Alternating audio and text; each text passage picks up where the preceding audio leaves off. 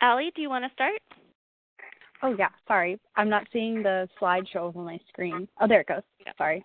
Hi everyone. My name is Alie Cline. I am the digital content strategist for the Blanton Museum of Art. I've been in this role for almost three years, and in August of 2014, we decided to launch Snapchat as one of our social media channels. Um, if you could go to the next slide, please. Um, why Snapchat? First of all, the Blanton is located in Austin, Texas, and we're a university art museum. So already a large part of our constituency is college students. Um, we have about 50,000 undergraduate and graduate students here on the 40 acres at UT Austin. And while we do get a lot of students who visit um, through classes, they're, they're sort of required to come, um, whether it's a teacher wanting to teach from the collection or they go on tours of the collection. We don't tend to actually advertise or market to university students. So that was one thing we were thinking about when we were trying to figure out how to reach students. Well, is there a way to reach them where they already are? And um, Snapchat seems like a natural fit um, with over 70% of the users between 13 to 25, and then even more staggering, 77% of college students use Snapchat daily. So it just seems like a really natural fit to reach students where they already were to let them know that the Blanton is here on campus, that we can sort of speak their language, and um, that we're a resource available for them outside of the classroom. One of the important things about Snapchat that we wanted to make sure was that it fit into our brand strategy. So at the Blanton, all of our social media channels are um, sort of tied in with our brand keywords. So the top four ones that we pulled out to sort of justify using Snapchat are visual, unexpected, cool, and worldly. And I just wanted to focus on the unexpected a little bit. I think, you know, people have preconceived notions about art museums, and we want to make sure that uh, the Blanton is an accessible space for everyone. And so, with the unexpected aspect of this, is we wanted college students to know that the Blanton could speak their language, that we weren't some sort of stuffy old art institution. And that's really what guided our posting strategy, which, as you can see from these snaps, are sort of humorous, um, funny pop culture references. If you go to the next slide. So in August of 2014, we rolled out our Snapchat and sent um, a few snaps about selfies, ugly Renaissance babies, and the initial response was great. We had um, 500 followers 18 days after our launch, which is pretty big for us as sort of a, a smaller um, art museum. We had someone who told us our stories make them laugh, an art history major who liked what we were doing, um, and you know I think the response was really great right out of the right out of the gate. Next slide. So some of the content that we put out on the Blanton's channels, it's really guided by again this sort of funny, cool, worldly voice. Um, we try to do a lot of pop, pop culture references. Um, we'll try to go into the galleries and I'll walk around and look at paintings and see how I can sort of have the the figures in these artworks from hundreds of years ago talk in a 21st century voice. So, you know, there's a, a very lovely looking Spanish man in the galleries who reminded me of Inigo Montoya from The Princess Bride. So, of course, you know, we wanted to do something like that. Um, we have a bridesmaid's quote. Um, you know, we're getting a little um, more kind of flirting with the line of appropriate, you know, referencing, um, you know, the face of a lovely lady in one painting. Um, and again, we just try to make these relevant and funny and things that people sort of um, want to see injected into their daily life. And again, it's a way to bring art to people in a way that's relatable, um, that can reach college students where they are, bring them into the Blanton, and not go through this sort of very typical, oh, I'm coming in to see the art and I want to, you know, see all these sort of jewel like paintings. It's a way to really um, engage with a 21st century audience. Next slide. One of the things we noticed with Snapchat um, that was really interesting was people would start to screenshot it. So outside of our initial launch date, what we did was we put the word out that we were on Snapchat on Twitter and Instagram, I think. And after that, we haven't really done any promotion of our account. What's happening is people are actually taking um, screenshots of our snaps and then putting them on their own social media channels, which is great. That means that you know we're getting this very authentic engagement from audiences. That you know our content is good enough that they want to share it on their own personal networks, um, and that's really been one of the major ways that we've grown our following. And I think one of my um, sort of favorite tweets about this is um, a museum professional named Lindsay Marolt tweeted that the Blanton Museum Snapchats make me want to visit in case anyone still doubts the value of museums having fun on social media. Um, I hadn't heard of Blanton Museum a year ago, but between Tumblr and their snaps, it's at the top of my to visit list if I'm ever in Austin. And I think that really encapsulates our Snapchat strategy is, you know, while we are trying to reach these college students and bring them through the door, it's also a way for visitors who maybe don't live in Austin, who have never heard of the Blanton, can still experience art in the collection in a way that, um, you know, injects it into their everyday. Next slide. And just finally, I think the one thing I wanted to mention about Snapchat that we found is um, unlike typical social media networks, you don't have a ton of analytics to go off of. Um, unlike Facebook or Twitter, where they have these very robust, um, you know, reporting systems, Snapchat really gives you uh, a little information. You basically see how many people opened your snaps and how many people screenshotted them, um, and you you basically have a, a, a not a ton of information to go off of, right? So I think what we found is while we don't sort of look at our Snapchat analytics the same with the same intensity that we would for Facebook or uh, Twitter, I think there's still a lot of value in in getting back to that anecdotal evidence of people, you know, posting our Snapchats on Twitter, posting them on Instagram, um, and there's multiple ways to look at Snapchat. But if you're a very um, sort of analytics-driven institution, just know that if you do open a Snapchat account, that it's you're maybe not going to have the sort of in-depth reporting um, that you would with an, another channel. Um, and I think that wraps it up for me, and I'll let the next presenter take it.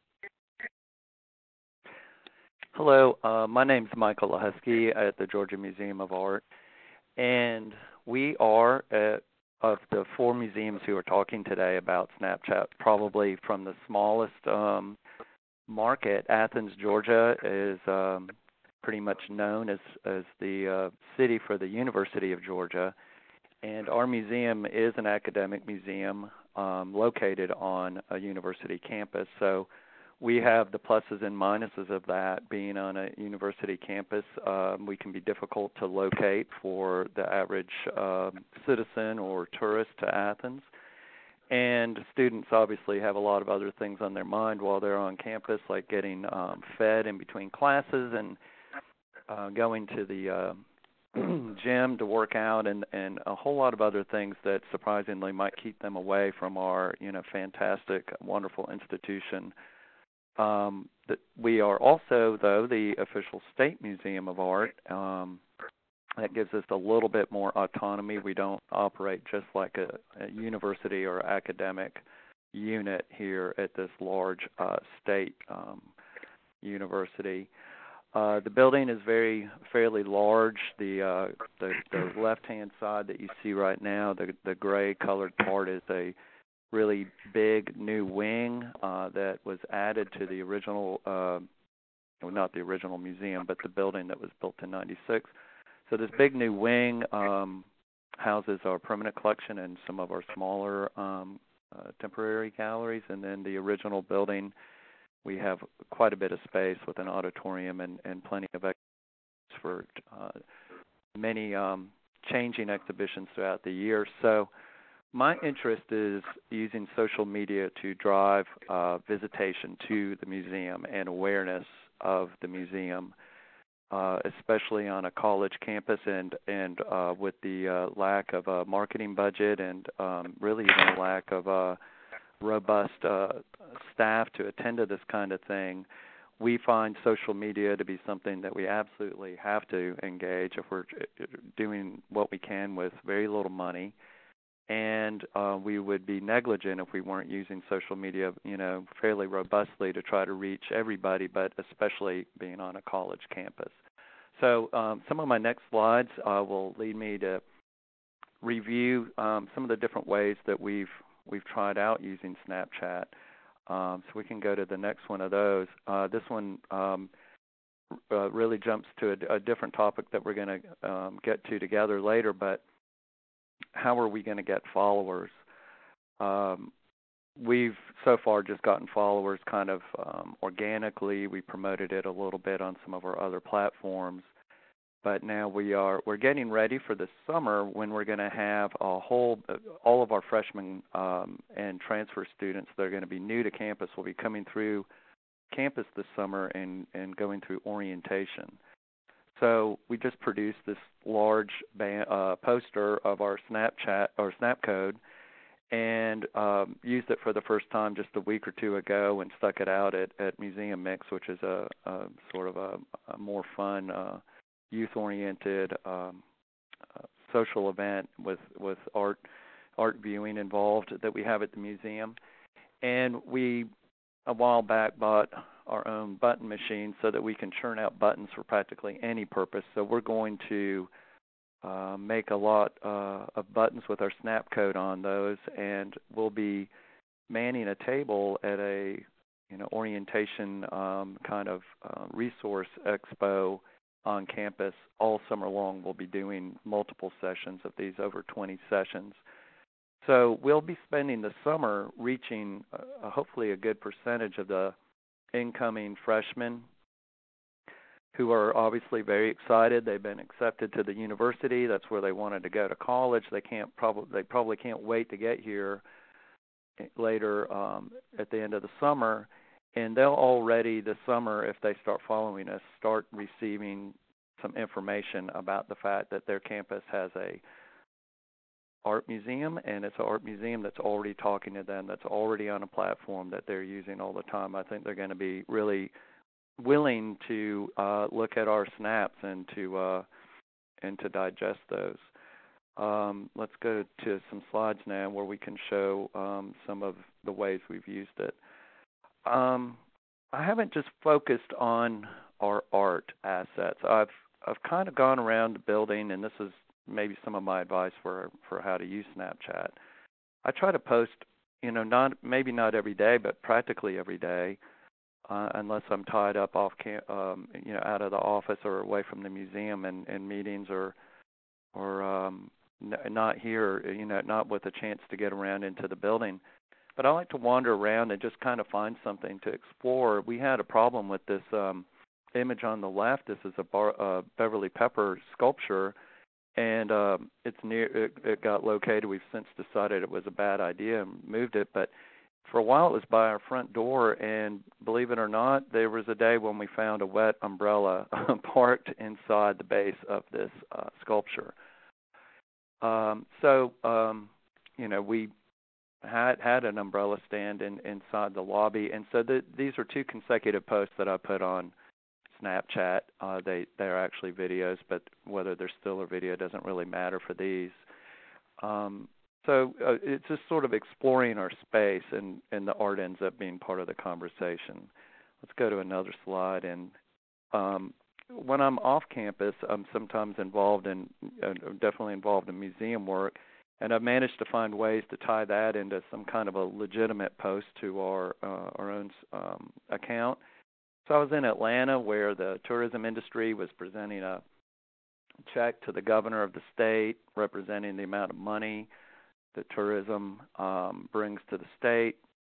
And I put this post um, up there. It was a video, and it got picked up by the Atlanta Story. So um, that's just an example of of traveling outside of our own museum and still finding ways to post. I was at the High Museum and at the Museum of Design Atlanta. Other other arts institutions or entities, especially if they're for you know visual art, and especially if they offer any kind of free programming.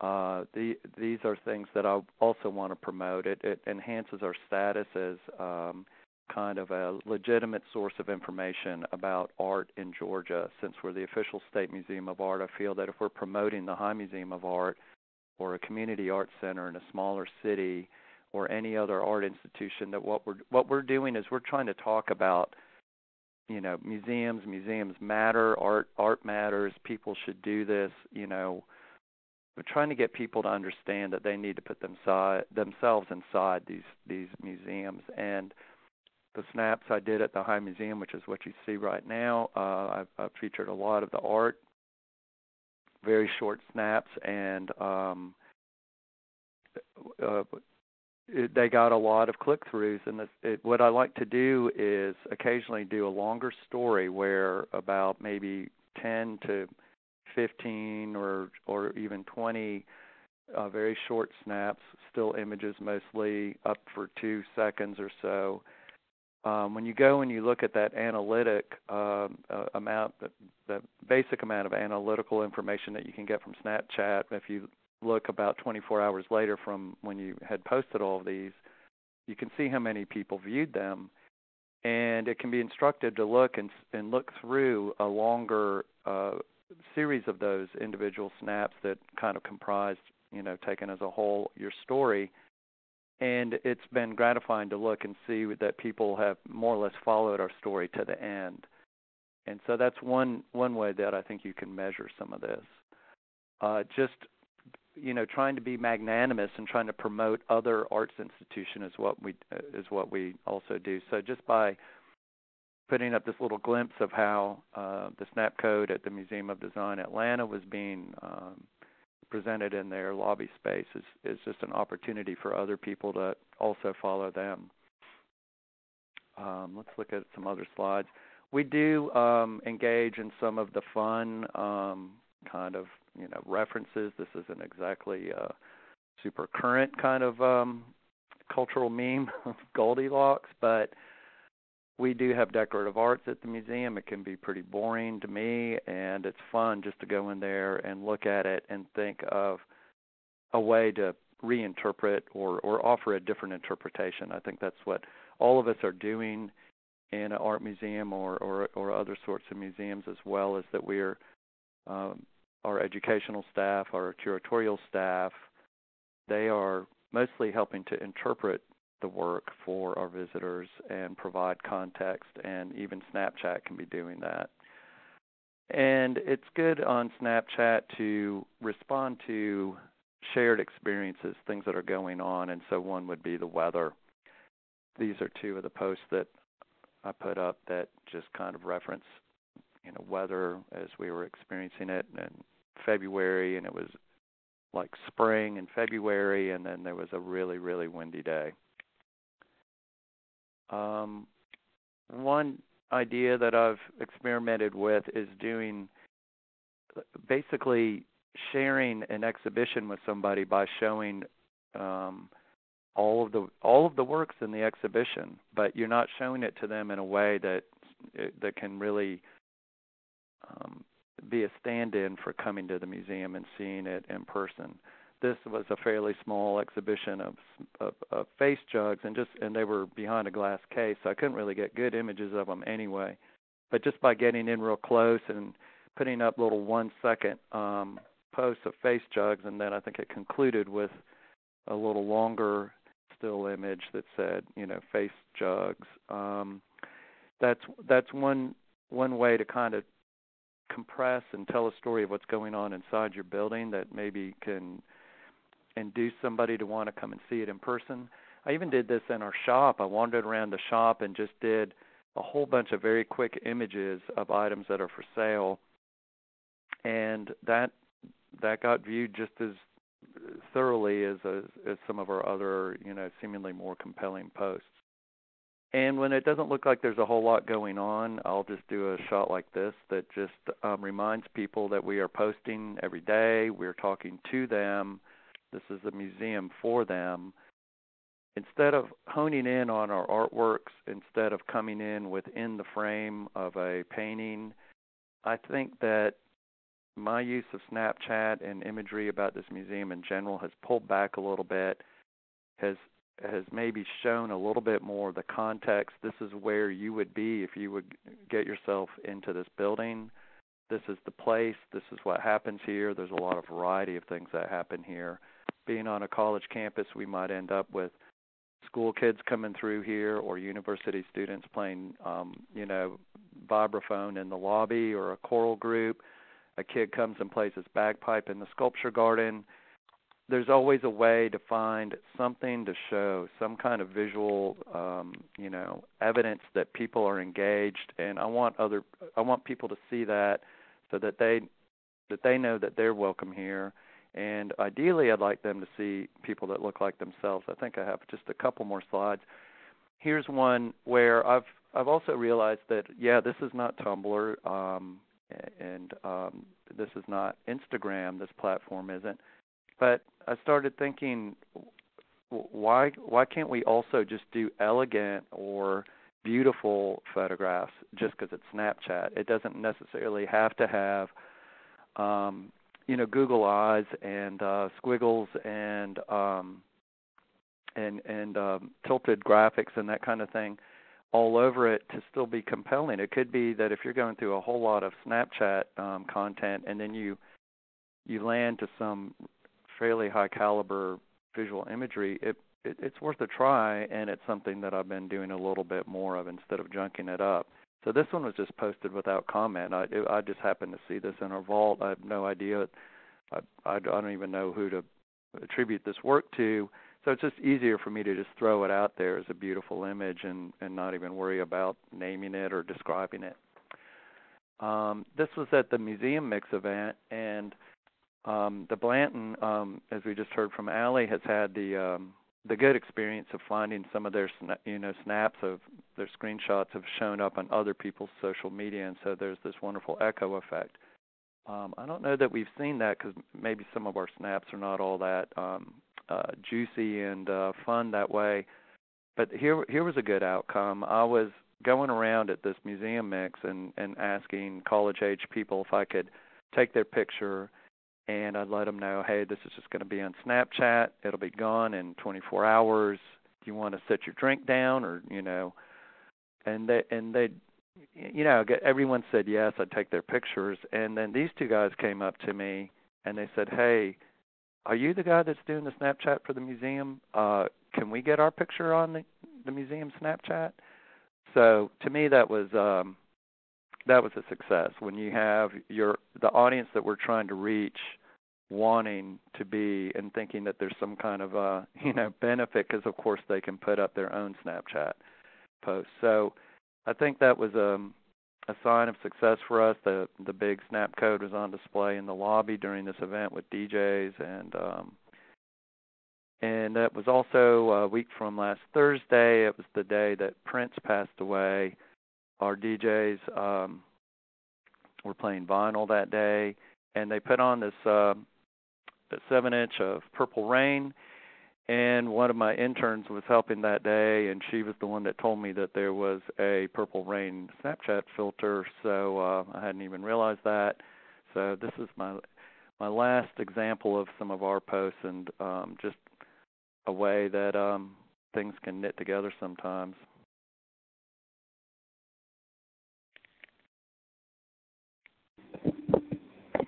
Hi, this is Lucy from LACMA. Um, and I created this presentation, The Anatomy of a Snapchat, to talk about specifically from a beginner's point of view what is Snapchat and how to use it.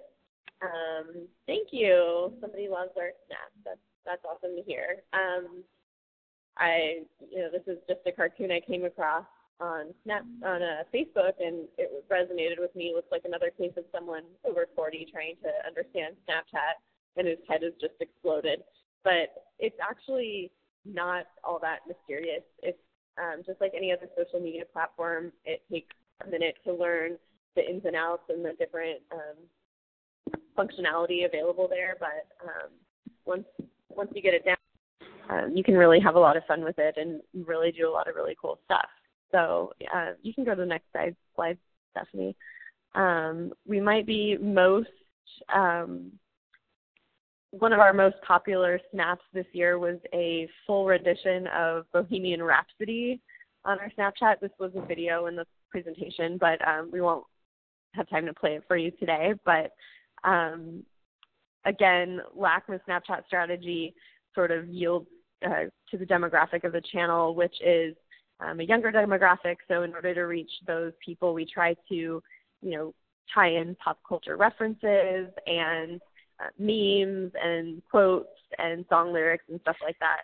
Um, so you can move on. I'm going to kind of go quickly through this beginning part of the presentation um, because a lot of it has already been covered by my two previous speakers, but um, so what's the deal with Snapchat? I have some stats here. Um, it's the top. It's in the top 13 of U.S. apps downloaded overall, and it's often the top three most downloaded photo and video app. Um, so as you can see, it's a very popular platform, especially among millennials and younger audiences. So um, it's another way for LACMA to reach an audience that maybe some of the traditional channels don't reach because they skew a little bit older. Um, and people that use Snapchat use it so frequently that um, we've seen incredible engagement on the channel. So it's really wonderful for LACMA to be part of um, a channel that gives that has so much um, range and so much reach. So if we go to the next slide, I sort of started to outline what Snapchat looks like. On the left side, there is um, the direct messages side. So as they say, it goes down in the DM. Um, we get a lot of direct messages from our followers. Um, people send us props. People send us um, thank yous and things that they're saying they love our snaps. They sometimes suggest songs or um, memes that we should cover. Sometimes I do listen to them. And most of the time, we get a lot of direct messages that are just totally un- irrelevant. And so I look at them, but um, I try to read all of our direct messages, but it's not always possible. But um, I try. So the other two are uh, just slides explaining what the screen looks like and how to send a snap and what you can do with it. You can send a geo filter, you can add emojis and text and drawings on top of your snaps. So um, yeah, the next slide tells you that um, my story is the top thing on. So that's the this the part of the platform that we use that everyone uses basically to broadcast um, snaps to all of our followers.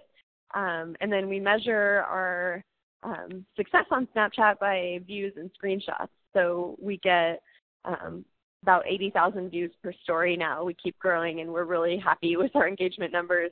Um, we have a little over 180,000 followers right now, which means that we're almost at a 50% um, impressions rate, which is extremely high compared to other social media channels. So we're super happy about the um, the strength of the channel and the engagement that we get there. Um, we get between 500 and 1500 screenshots per story, um, depending. I think our highest was 3,300 for Bohemian Rhapsody, which included about 30, 30, 30 to 35 different snaps covering the whole song. So it was kind of fun. Um, and then local story, the Los Angeles story is something that we um, sometimes feed into we try to um, showcase some of our events on um, the Los Angeles story whenever possible.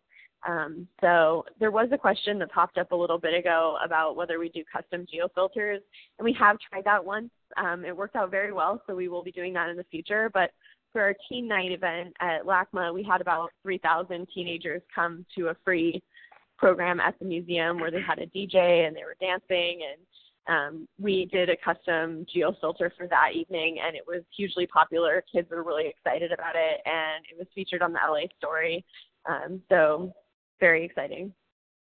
Um, so again, we are very fortunate to have our own geo filter at LACMA. When Snapchat first launched geo filters, they approached LACMA and said, you know, we want the museum to have its own geo filter and that way visitors can you know snap from the museum and share um, you know the fact that they're at LACMA and LACMA chose the logo, which works really well. It's it's not in the way too much. It's pretty um, it's it's pretty ubiquitous. So it's really cool that we get to brand all of our snaps using the geo filter.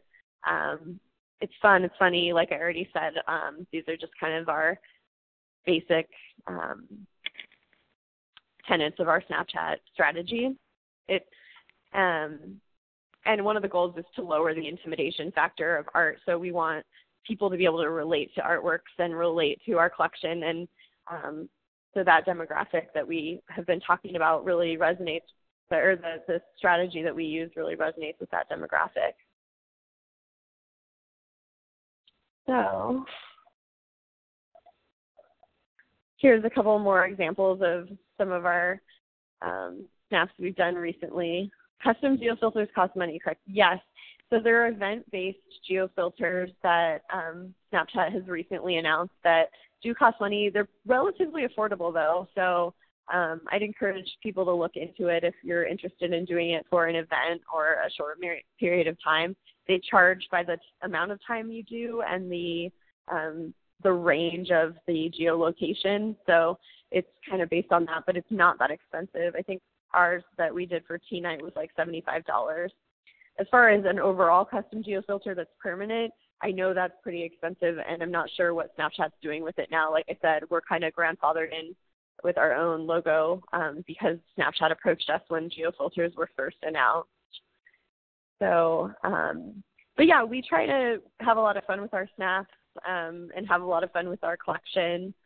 Um, you can move on to the next slide. We get a lot of great feedback. So this is some older stuff that I haven't had a chance to update yet, but this is um, pretty much along the lines of what people tend to say about our account. Um, they're sharing their um, they're sharing screenshots of our snaps and they're telling people to follow us and that's pretty much how we organically gained a huge audience on Snapchat by word of mouth and other people talking about how much they like our account and how much they enjoy our snaps. So um, it's really great to see that positive feedback and it always gives me extra special or like an extra um, motivating factor, I guess. I, I love to see people's reactions to what we post and um, it's really nice to have support from the community and just know that we're doing something right.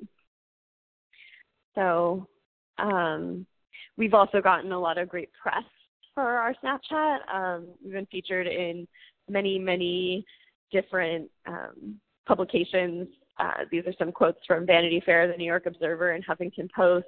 Um, we so that's another way we've gained our following is through press and through um, people paying attention via uh, these public these different publications. And um, in the next slide, I linked to a bunch of other ones.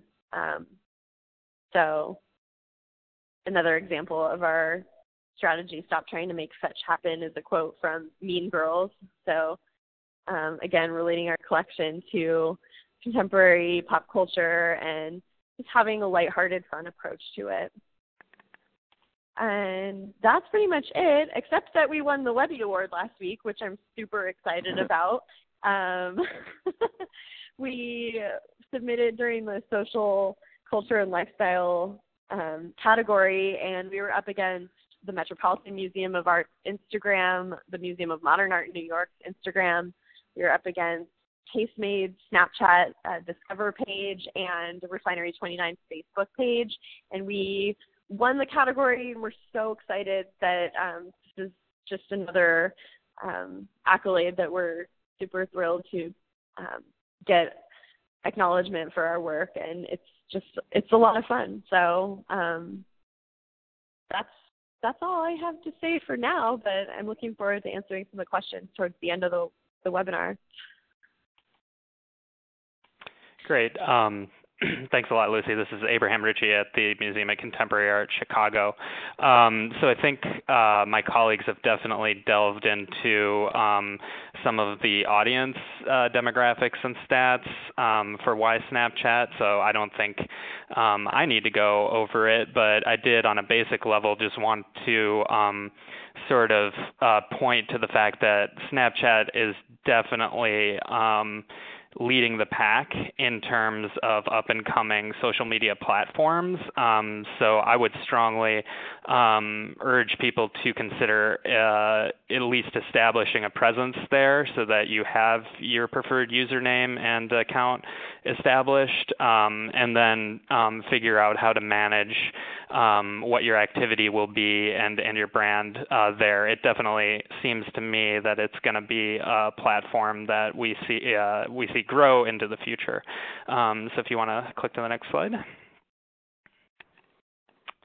Um, and I also wanted to highlight the fact that Snapchat is um, really still an unfiltered, unmediated social network. There's no, as far as I know, um, algorithm uh, separating your content from your audience, and this is um, different than Facebook and it's different than Instagram, where um, that filtering algorithm really does um, deeply and strongly affect how far um, your content is reaching and how many people it's um, being seen by. Um, just as anecdotal uh, evidence, um, I posted uh, something. I posted a photo to Instagram yesterday about a book signing that we had. It got nine likes. We have an audience of over 36,000, and the post before that had gotten over 600 likes. So, I mean, to me, that just says that something artificial is going on. Um, I don't think it was. I mean, we you can you can take a look at our Instagram and see if you think it was the content or if you think it's an algorithm based on all the stats there. But um, more and more, we're seeing these filtering algorithms having a dramatic impact on our social media work, um, and Snapchat is still unfiltered. Um, also, wanted to highlight the fact that it's it's a messaging service, and people use it like they would use a text message, iMessage, or anything. In the days before Snapchat, it really did the idea of the platform really did exist as um, you know a photo that you would drop into a photo editor and scribble on. Um, I still have those apps on my phone, and you know you just uh, scribble on a photo and then send it to your friend versus via text message or via iMessage. So Snapchat is the really next the next generation of that logic and that production, um, and uh, and people use it like text messages. So it's a very very powerful tool um, that um, people have in their pocket. Um, you can skip to the next slide. Um, so uh, the decision then is uh, ways to snap, um, and I'm not going to um, really presume to to uh, make a overall arching judgment for you know how you guys should use it. Um, if you want to use it, um, I would say find an approach that fits with your museum voice and brand. Other museums' approaches may not be suitable for your organization. Um, and we've had a couple questions come up, up about this already um, in the presentation, um, and I think it's I think it's worth sort of relaying this anecdote um, since it's um, and we even have some people on the line. So um, in 2014, Hyperallergic um, published this big article about the first museums on Snapchat and featured, um, you know, all of LACMA's great work, and they mentioned the Blanton too. And we had just joined Snapchat at that point in the fall of 2014. Um, we were definitely one of the early adopters. I don't know, you know, if we were the first or I mean, I definitely know we weren't the first, but we were, you know, uh, some of the early adopters on. And um, you know, I was very excited to see that, you know, this was going to be sort of a viable platform. So I sent this off to um, our museum director, and um, I sent off the hyperallergical article and a couple examples of LACMA's slide and um, Blanton's and and their snaps, and um, you know, asked for input. I, I you know, I did ask ask, you know, is this, uh, you know, content strategy that we can pursue? And um, I was essentially told no, um, it wasn't appropriate for our museum's outlook, um, and it wasn't um, appropriate for the art and the artists that we maintain relationships with. So, um, so we've been uh, sort of um, we've been consciously pursuing a different path than um, both LACMA and Blanton. Um, I will say at times it does feel a little bit like a salmon swimming upstream. Um, it does feel like we're working against the uh, logic of the platform to a degree. So um, so that's been a challenge. Um, Snapchat does have a younger audience, as everyone has mentioned, and its tech is, you know, more personal and direct, as I've highlighted. But I think, um, you know, it's also possible to find a content um, strategy that really fits with your museum and your and your audiences, um, and they'll appreciate it for you. You know, um, I included the snap that was just a nice compliment for uh, to us from from one of our followers that just said, you know, um, we I like the art. Um, uh, and so, you know, maybe, uh, you know, if your approach sort of eliminates the option to have um, the art sort of be act in a humorous way, um, there are other possibilities. Um, so we can skip to the next slide. Um, so these are just um, some some ways, some sort of you know brainstorm starter ideas about ways to snap. Um, humor is always a great uh, great idea. Puns, uh, visual jokes, insider jokes. This is really a platform where art history humor can take off if you want it to do that. Um, I think um, Blanton and Alie do a great job at that too. Pop culture references, LACMA uh, does a uh, you know phenomenal job at that, and they uh, definitely deserve all the credit that they get around there. And then funny things um, that happen around the building and the grounds too. And I think uh, Georgia Museum might have alluded to this a little bit. Um, and uh, and that's just you know providing that inside look about at things that are happening. And since Snapchat is an ephemeral platform, it's the perfect place for shots that are um, unplanned, imperfect, spontaneous, unpolished. You know all those things that you would want to see um, on a more permanent medium are not factors on Snapchat. Um, you know, uh, I'm using this term great shots in quotes just because um, photos of your building, um, especially if you're using the platform to build awareness, um, are really likely new to your audience. I'm always um, I'm always surprised and uh, constantly reminding myself that audiences don't necessarily translate platform to platform to platform. They do tend to, at least in our experience, tend to remain um, connected to one platform over others. So, um, so using those um, sorts of, you know, great shots of your building um, are um, are really uh, potential, you know, content uh, blocks for you to build. Um, your staff is a huge resource uh, short clips, interviews with staff. Um, if you can get them to demo things, that's been good. Um, skits, we actually haven't done anything on that, but um, I've seen a lot of you know good examples out there. Um, tour clips, um, really fun too, um, especially if it's uh, you know an artist giving a tour or a major exhibition that has a you know uh, a wide um, awareness campaign along with it. Um, all this really makes your museum more personal um, and more personable. Um, which is you know part of one of the main strategies or uh, goals rather of why the MCA is on Snapchat and why uh, some of the other museums are too. I've heard that echoed.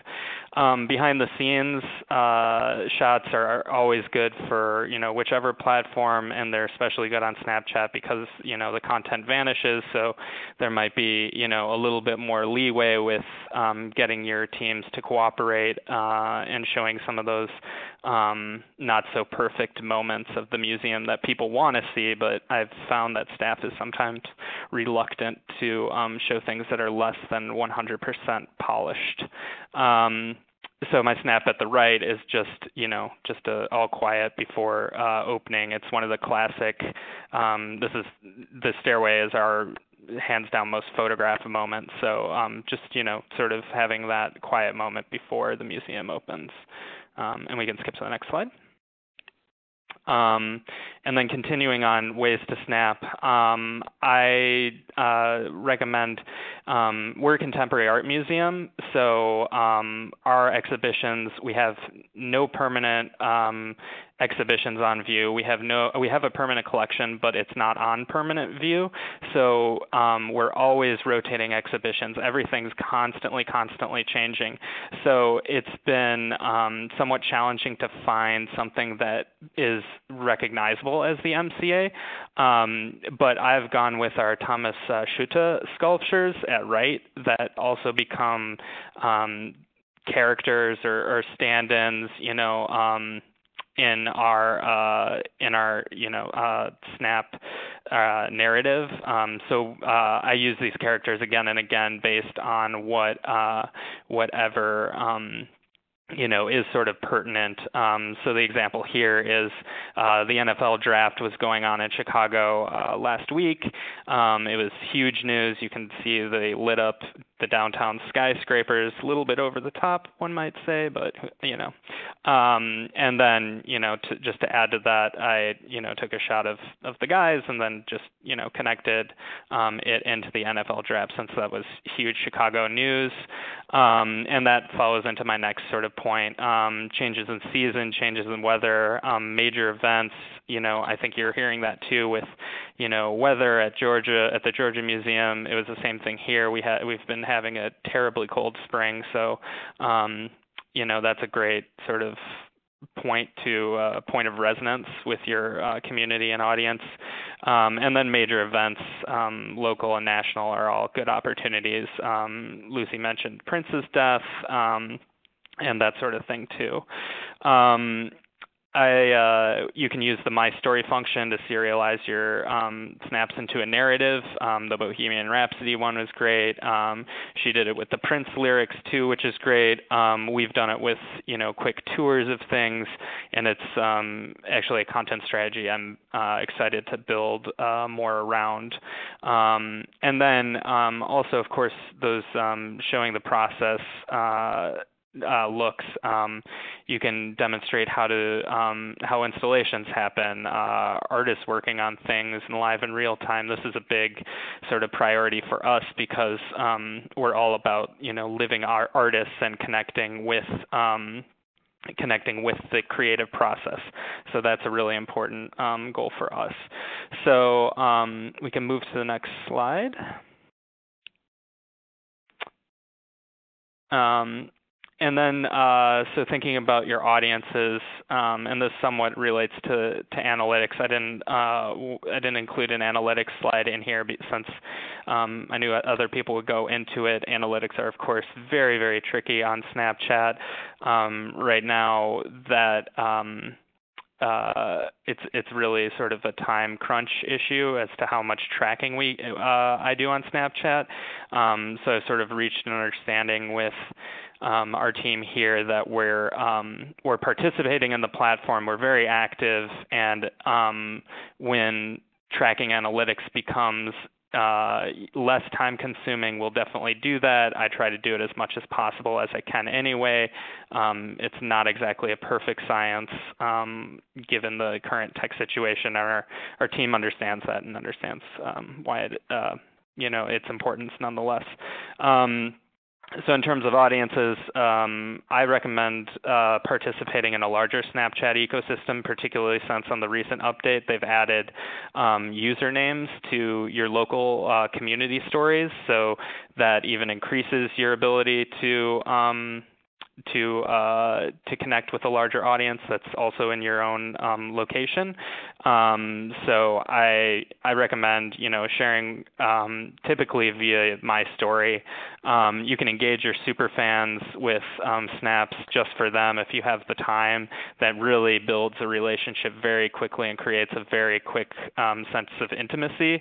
it also means that they feel like they can snap to you at any point, which has been sort of an unexpected flip of that. And I've gotten snaps coming into me at all times of the night. Um, so um, it's a great it's great potentiality. It can uh, even go too far. Um, and then join your community through posting to your city's stories. Um, it's a great opportunity for your cities to go citywide, or for your stories to go citywide, excuse me. Um, and uh, and you might even see yourself. Um, this is uh, these are two snaps of Mr. T visiting at the MCA um, because it's kind of a long story, but he's actually featured in one of the artworks on view. So he came by to visit himself in the artworks. Um, it was a great opportunity. I actually am featured in that lower left image at far left talking to him. So I was flipping through our local story and ended up seeing uh, seeing myself, which was uh, unexpected. Um, but uh, this is just to demonstrate how um, your your uh, institution can um, get into that local story and can have that sort of wider um, wider exposure. Um, and so uh, with that, that's uh, the conclusion of uh, my presentation. Thank you, everyone, for your presentations. Um, we were going to have a conversation, but we're running a little low on time. So, in the next 10 minutes or so, I want to open it up to questions from our audience. Um, we've already received some questions, so we'll start with those first. Um, the first, can you all four of you first just tell the audience um, what year you started your Snapchat account? Uh, Alie at the Blanton here. Um, we started ours in 2014. Michael at Georgia Museum of Art. Uh, we started right around the time of that hyperallergic article. Uh, I believe that was uh, also 2014. Abraham at the MCA. Oh, uh, sorry, we started ours in um, 2014 as well. Lucy, did you Go start ahead, Lucy. as well? Oh yeah, LACMA started in 2014 as well. Okay. Um, so we've gotten a few questions about how do you approach image rights on this platform. Um, have you seen any need to credit the work that you're posting? I can I could jump in on that because as a contemporary art museum, we definitely have uh, copyright concerns. Um, so my approach has been even though the content vanishes, we're still publishing that content. Um, so we abide by um, the image rights approach that we would do for any other thing. Um, that said, we there's just simply not enough space to credit an artist and a title on every single snap that we publish. So we typically do not include that type of tombstone information, but we would um, we would not um, snap things that are protected by copyright um, or that artists have expressed that they do not want photographed. And uh, Yeah, I Alie Blanton here again. We um we tend to stick to old master paintings since those are the works in our collection that um we're free and clear to use, obviously. Um, so I you know I think it's a it depends on your museum and how sort of strict they are with their image rights. I mean, um, I get a lot of leeway to post images sort of under the blanket kind of fair use um, term. So, you know, I think like Abraham said, it depends on your institution and, and how strict or, or not strict you are on your social media channels in general with that. That's yeah, Alie. LACMA is similar too, with the fair use um, being kind of the primary uh, prevalent way that we're thinking about posting on across social media channels. Um, I do try to stick with public domain as much as possible, and at LACMA we're fortunate to have an encyclopedic collection, so we try to feature different parts of our collection, different cultures on Snapchat. And as far as crediting is concerned, occasionally I like to try to like tweet about similar about the images or put them on Facebook um, around the same time that I'm snapping, so that if people do follow us on multiple channels, they'll see more information about each artwork if they want to, basically. But everything's available on our website, so I just kind of assume that people can look into more information if they're interested. Um, so our next question has to do with upper level management. Um, some people want to know if you got buy-in from the director or any type of museum leadership before you started, or did you just start the ground running with experimentation? Or um, and do you get any pushback from other museum staff and leadership, in particular if you want to post more irreverent posts? Um, at the Georgia Museum of Art, uh, uh, we're we are very small. We work. Uh, everybody works together. I work very closely with our director of communications, who, sort of by extension, because of her authority, gives me, um, you know, uh, pretty much free rein when it comes to how to manage this, just out of um, out of pure trust. Uh, I did just uh, present um, to our board of advisors and our director about uh, how we are using social media and shared it. So just by being transparent um, internally, I think that uh, everybody supports what it is that we're doing and understands that we're we're trying to do the do right by the institution.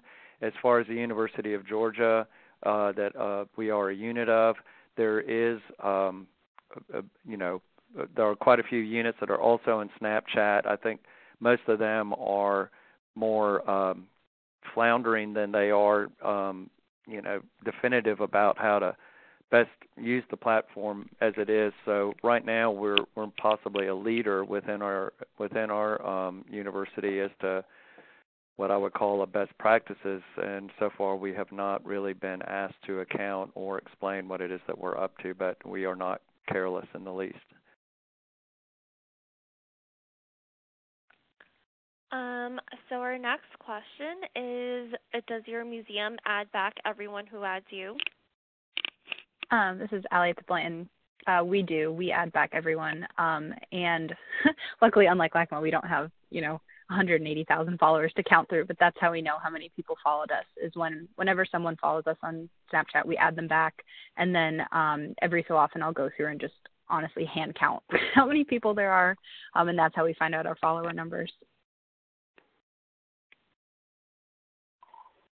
At LACMA, we don't follow back just because of the volume of followers that we do have.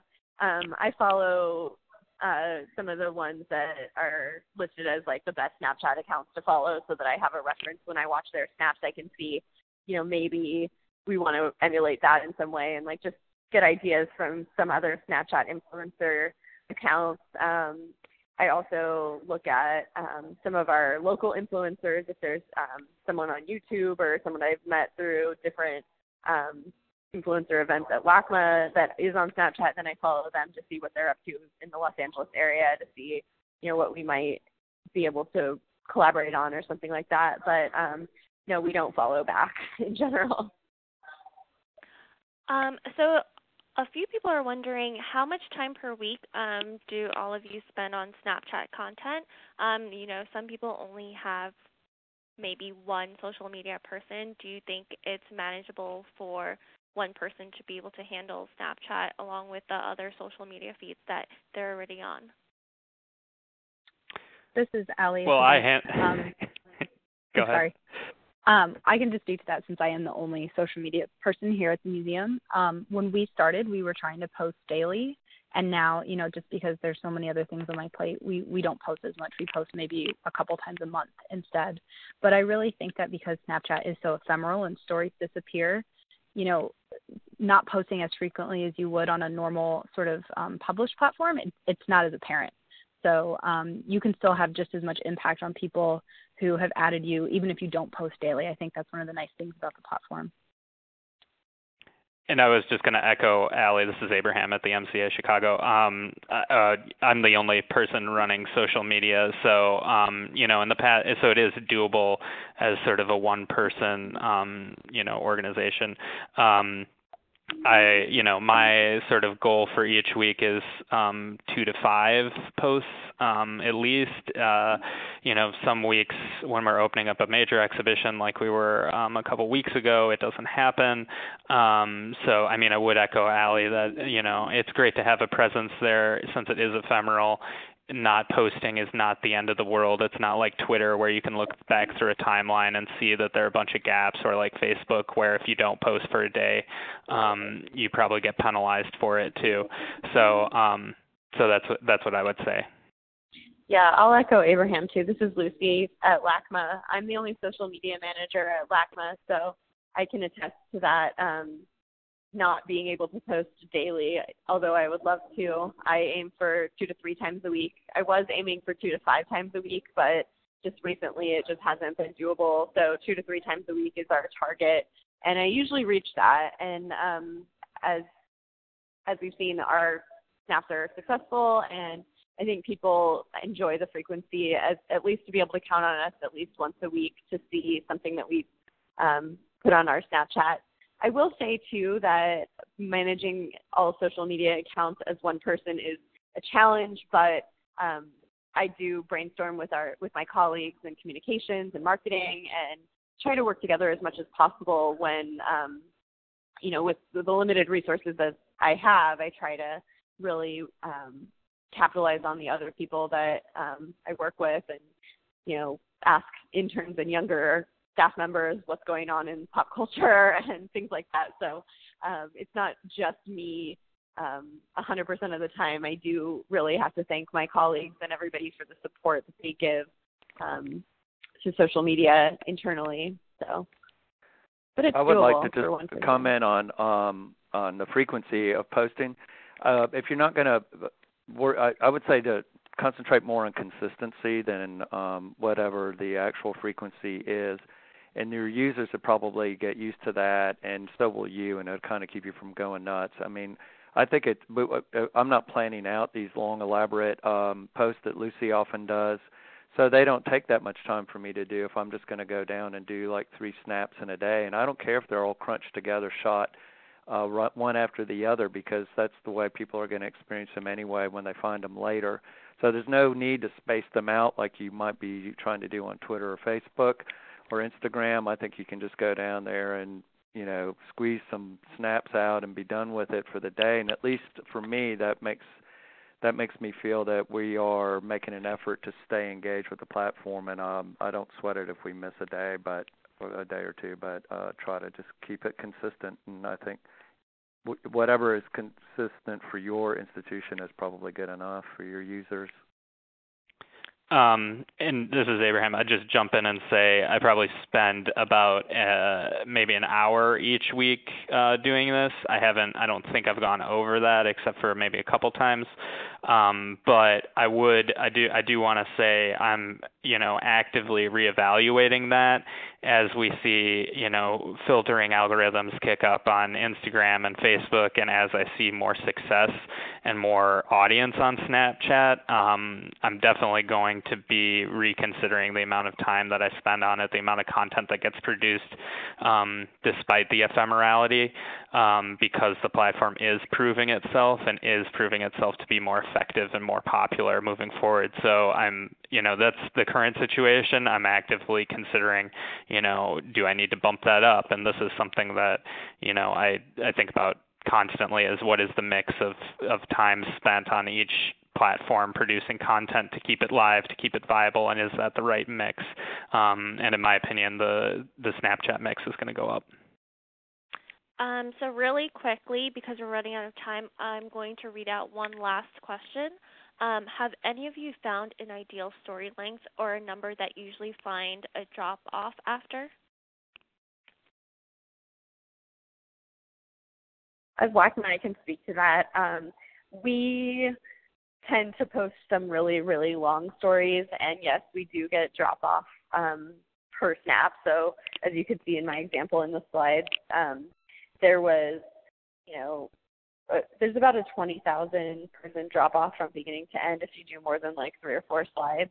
But um, we find it really useful to do a full story. So, um, like I said, we've done one as long as 30 plus slides for a Bohemian Rhapsody, and people just kept egging us on, and it was fun and it made a complete package. So we um, we try to stay within you know five to ten at the most, but occasionally we'll go way above that and, and just go crazy and have a lot of fun with it. And um, it doesn't matter so much that maybe not every single person watches the whole thing, but um, we measure by the first slide anyway. So um, the drop off doesn't really bother me. You know. And something else to add to that too, this is Alie again. Um, you know, I think Snapchat's interface also plays a role in your your drop off because recently they released an update where um, you actually, when you finish someone's story, it automatically leads you into the next story, whereas before it would just end and you'd have to tap to start another story. So, you know, yeah. I would pay attention to things like that too. Again, I totally agree with Lucy that that drop off doesn't really bother me. It's just a natural part of having a story that's more than a couple slides long. Um, but just keep in mind when you're when you're looking at your analytics and how many people are actually looking through. Sometimes I'll go through and just tap on stuff to get to the end of a story, so it's not on my feed anymore, mm-hmm. just because I'm really like anal retentive like that. Um, so again, you know, I really think while the analytics are important, but also looking at kind of you know whether people snap you back or they say they love your snaps or they're putting it on other social media channels. You know, it's I would look at it holistically too, um, in addition to just sort of counting your views and, and screenshots. Well, this is Michael at the Georgia Museum of Art. I think that I look at it from the standpoint of of me uh, digesting other people's stories and what is it that I like, and and I actually find it satisfying to get to the end of a story, but I kind of want them to do the work for me and give me those little snaps at the right duration. I think getting the rhythm right is really helpful. I don't necessarily enjoy it when I'm the one that's kind of pushing the process through. So sometimes I look at a story and I find that the still images are on there just way longer than I needed to absorb them and I'm wondering like, you know, am I the only one or am I impatient? I'm probably more patient than a lot of college students. So I think it's I think it's fun to try to build um a story that people maybe will watch all the way to the end, but I think it's incumbent on you to figure out what is the right pacing for that that particular degree of uh you know information you're you're putting into those individual snaps that comprise the story. Yeah, and speaking to the length of snaps, this is Lucy. Um, we generally post still images at five seconds because we got a lot of responses at first um, when we were doing like one to three second snaps. People asking, please, please, please leave leave it up longer. I couldn't catch it. Da da da. And so um, I just assume that if people want to speed through it, they're tapping and they're going through the different snaps. But um, we tend to do five second snaps um, in general, and then sometimes if I feel like the lyrics tend or lean towards a faster snap strategy, like I'll do five seconds, five seconds, five seconds, and then I'll do three that are like one second long, just to try and get the tempo of it up. But um, in general, we go five seconds because we heard from our audience that that's what they prefer, and we stopped getting complaints after we um, uh, increased it five seconds. Um, and so I think we want to give people a chance to screenshot too, so they can share. So I think that's we found the sweet spot at five seconds. Well, thank you, Alie, Michael, Lucy, and Abraham. This was a great presentation. It was it was really awesome to hear how Snapchat can be used in different ways for different institutions. Um, so before we end the session, I just want to remind everyone that Snapchat will be having an International Museum Day live story and a geofilter on May 18th. So I hope everyone will be snapping at your museums that day. Um, while not everyone's story can be featured on the live story, um, what Snapchat has told me that they're really looking for is vertical video content, so that that will make it more likely for everyone. Um, I will. It seems like a lot of people are looking to follow everyone else's Snapchat. So what we're going to do is we're going to um, compile a list of all of our member museums and their Snapchats, and then add it onto our Muse- Art Museum Day website. You can find that at bit.ly slash museum day 16. Um, it's also on aamd.org's website. Um, so if you haven't already, just email me at syao at aamd.org or use the SurveyMonkey link on your screen on what your Snapchat handle is and what you'll be snapping on May 18th. This information is going to be given to Snapchat to make sure that they can open their geofences at your location to allow you and your museum visitors to participate. Um, we'll have this webinar recording available by next week so that you can revisit all of the insights from our panelists. Unfortunately, we will not be making this deck available outside of that recording, um, just so you can have, because most people were talking and I want you to have the insight along with the deck. Um, so thank you so much, everyone, for listening in, and I hope you all have a great rest of the week. Thank you, Stephanie.